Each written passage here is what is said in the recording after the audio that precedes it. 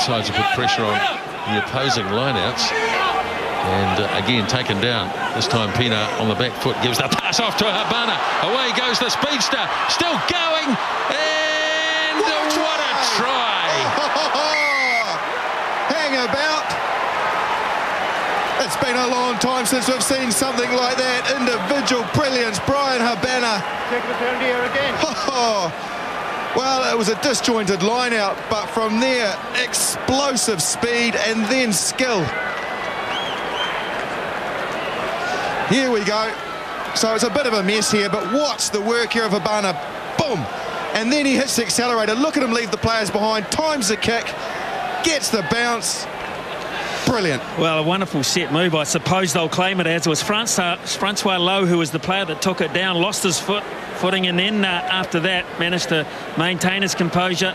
Must have sensed Habana coming because it was brilliant. The timing outstanding, the kick brilliant, and this time, yes, this time the coach can stay on his feet without putting his hands on his head. The reason that I mention you know how, how good that was is because it's the hardest kick when you're running at that speed directly towards a player without slowing down to then drop the ball on your foot time it to get it over top of the player and regather is very very difficult and he did it perfectly.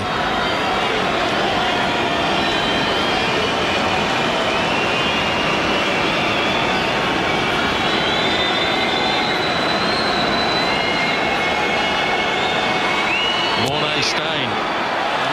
Well, he can't get that one close. But we've just seen one of the great tries from one of the great wingers.